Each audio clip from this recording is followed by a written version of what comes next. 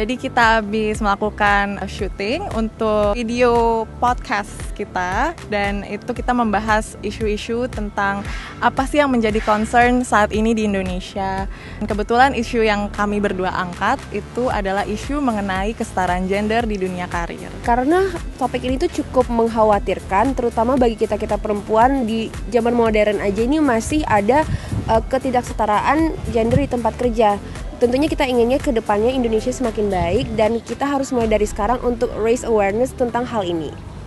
Iya betul sekali. Uh, menurut saya juga sama seperti Miss Sumatera Utara karena uh, isu tentang kesetaraan gender ini merupakan masalah yang cukup sulit untuk diredam, tapi kita harus berusaha bagaimana caranya supaya kita bisa menyuarakan sebagai perempuan pentingnya emansipasi wanita di dunia kerja. Jadi tadi hari ini kita podcast dan juga membahas salah satu topik yang benar-benar happening dan terjadi di uh, kalangan kita semua, baik itu di sosial media, televisi, di orang-orang terdekat serta kerabat kita atau bahkan kita sendiri pernah mengalami hal ini, yaitu kita membahas tentang kekerasan terhadap perempuan khususnya di kekerasan seksual. Untuk topik pelecehan seksual ini ada banyak stigma-stigma nih pemikiran di masyarakat yang kita bahas khususnya mengenai di mana kalau pelecehan seksual ini sering terjadi pada wanita yang pakaiannya terbuka dan terjadi di malam hari.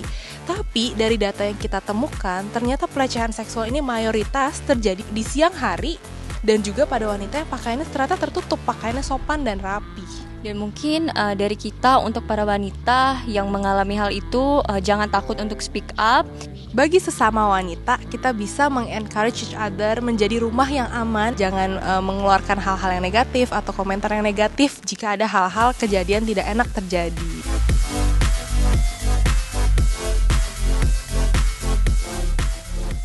Untuk isu yang kami angkat adalah kemandirian ekonomi perempuan.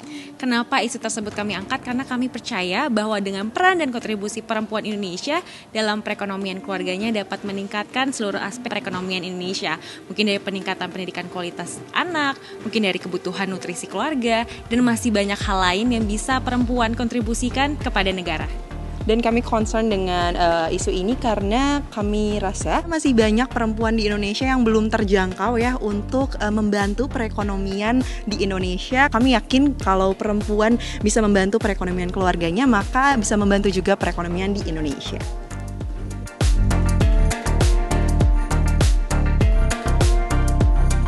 Kita membahas tentang aspek pendidikan di mana aspek pendidikan bagi perempuan dan lebih kepada isu-isu tentang kesenjangan literasi dan juga kesenjangan perguruan tinggi begitu.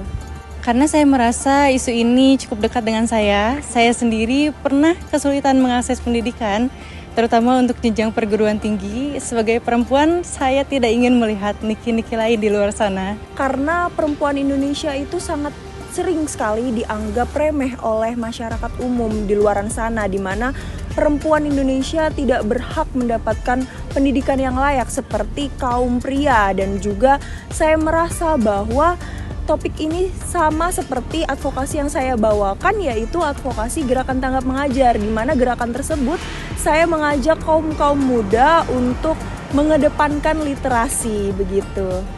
Dengan mengangkat isu ini, kami berharap pandangan masyarakat terbuka bahwa pendidikan untuk perempuan sama pentingnya dengan pendidikan untuk laki-laki. Jadi kesetaraan ini sedang kami usahakan.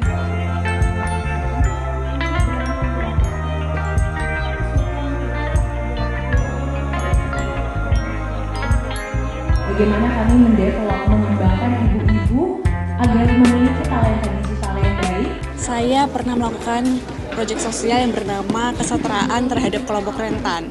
Kelompok rentan di sana saya memberikan edukasi dan pelatihan kepada para perempuan di masyarakat desa yang di perdalaman untuk memberikan pelatihan-pelatihan agar mereka bisa memanfaatkan pelatihan tersebut kemampuan mereka untuk meningkatkan taraf hidup mereka. Kemudian saya juga pernah menjadi volunteer vaksinasi COVID-19 yang itu adalah fungsi dari kelompok rentan untuk bisa meningkatkan taraf hidup mereka juga. Seperti itu.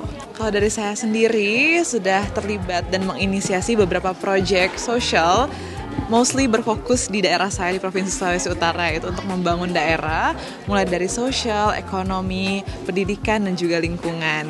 Nah, untuk dari pendidikan sendiri saya banyak mengajar di beberapa pasar dan juga panti asuhan di Sulawesi Utara. Kemudian terlibat dalam project waste management bersama dengan pemerintah Kota Manado dan nantinya saya berharap bisa terlibat lebih lagi untuk membangun daerah saya melalui background pendidikan saya yaitu teknik geologi. Saya memiliki kerinduan untuk melakukan pelatihan tentang uh, mitigasi bencana alam karena memang daerah saya itu rawan bencana sehingga semoga bisa terlibat dalam proyek-proyek untuk mitigasi bencana alam di Provinsi Sulawesi Utara. Untuk proyek sosial yang saya lakukan yakni bernama Self Warrior. Kami berfokus kepada kesehatan mental yang terjadi pada anak-anak dan juga remaja dalam upaya peningkatan potensi yang mereka miliki. Yang saya harapkan mereka dapat menjadi self warrior untuk dirinya sendiri. Saya sedang mengembangkan organisasi sosial saya bernama Teman Sehati yang bertujuan untuk mendukung kesejahteraan pendidikan anak di Indonesia, khususnya di daerah padat penduduk. Organisasi saya bertujuan juga untuk membangun semangat belajar anak-anak dan menyediakan fasilitas belajar yang memadai. Saya juga sudah bekerja dulu menjadi spesialis komunitas Ibu Sibuk. Kami bersama tim Ibu Sibuk saling menggandeng tangan berkolaborasi untuk menciptakan perekonomian perempuan yang semakin berdaya dan juga mandiri. Proyek sosial yang akan saya lakukan yaitu tentang pemberdayaan UMKM. Ini juga sejalan dengan background pendidikan saya dan saya berharap saya bisa berkontribusi untuk uh, menciptakan UMKM yang lebih stabil dan yang akan berkontribusi untuk perekonomian negara. Dari saya sendiri, karena saya merupakan mahasiswa kedokteran gigi, maka kegiatan sosial yang akan selalu saya lakukan adalah penyuluhan kesehatan gigi dan mulut. Saya akan mulai terlebih dahulu dengan hasil personality test saya beberapa waktu lalu. Hasilnya itu keluar dengan hasil seorang campaigner. Dan saya rasa itu bisa mengemas personality saya dengan baik.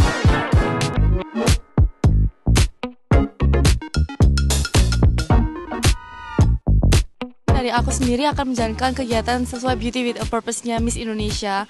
Jadi sesuai dengan talent yang aku miliki sebagai seorang makeup artist, aku mengajak untuk wanita wanita Indonesia untuk uh, meningkatkan value mereka dengan bisa merawat diri mereka, dengan bisa menampilkan the best version of themselves gitu. Jadi tahun lalu itu aku pernah mengajar di sebuah rusun di Jakarta Timur bersama teman-teman kuliah aku dan di situ seru banget prosesnya persiapannya sebulan kita mengajar anak-anak di rusun itu tentang literasi digital dan alhamdulillah feedbacknya juga baik dan acaranya berjalan dengan lancar dan kalau ada kesempatan lagi mungkin aku ingin uh, membuat acara seperti itu lagi.